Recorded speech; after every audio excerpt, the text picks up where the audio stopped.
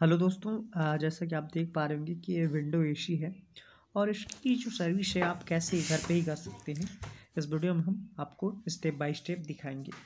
तो first of all आपको जो उसका मेन लीड है तो उसको प्लग से बाहर निकाल लेंगे और उसके बाद जो उसका ऊपर का कवर लगा हुआ है, उसको दोनों तरफ़ जैसे अपने तरफ़ खींचेंगे तो ऐसे निकल जाएगा और ऊपर थोड़ा सा उठा के उसको बाहर निकाल सकते हैं।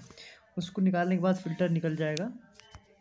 फ़िल्टर निकालने के बाद कुछ इस तरह से आपको देखने को मिलेगा। इसके बाद जो ऐसा रहेगा उसके बाद जो किनारे किनारे, उसको किनारे को पकड़ के उसको बाहर की तरफ़ खींचेंगे, अपने तरफ़ खींचेंगे, ठीक है? अपने तरफ़ खींचेंगे तो लॉक पे फंसा रहता है, वो बाहर निकल के चला आएगा और बाकी फिर ऊपर उठा लेंगे, दोनों तरफ़ खींचने के बाद। फिर कुछ इस तरह से पीसीबी में जो उसका पैनल है, और जो डिस्प्ले पैनल, उसके में ऐसे कुछ वायर रहेगा। कनेक्ट उसको हम ऐसे प्रेस करके बाहर खींच लेंगे, वो आसानी से निकल जाएगा। उसके बाद इसको हम इधर करके और एक टूथब्रश लेंगे और एक मग्गे में पानी। उसके बाद टूथब्रश से उसके जो कूलिंग कॉयल है, उसकी, उस पर जो पड़े डस्ट हैं, जो लेयर बन गए हैं, उसको हम ऊपर से नीचे की तरफ़ ब्रश को करके साफ़ करेंगे। लेफ़्ट राइट साइड नहीं करना है आपको।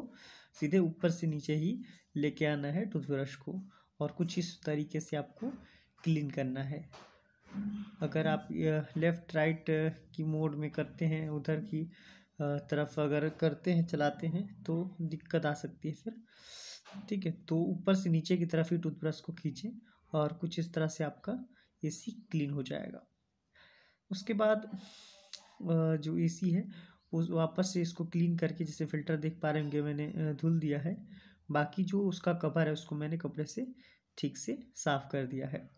तो चलिए ऐसे फ़िल्टर को आप लगा लेंगे। फ़िल्टर लगाने के बाद ये सारा उसका पर कवर लगा के बस चिपका देंगे। कुछ इस तरह से हो जाएगा। उसके बाद हम पीछे की तरफ़ आएँगे। पीछे कंडेंसर कॉयल लगा हुआ है। उस पर हम पानी के मदद से, कुछ एक पाइप की मदद से पानी उस पर ऊपर से नीचे की मोड़ में डालेंगे। ऊपर से नीचे की तरफ़ ऐसे करेंगे, जिससे कि जो उसका कंडेंसर कॉयल पे जो डस्ट जमे हुए हैं, जो डस्ट का लेयर जमा हुआ है, वो आसानी से निकल जाए। तो सर्विस हो चुकी है फाइनली कुछ इस तरह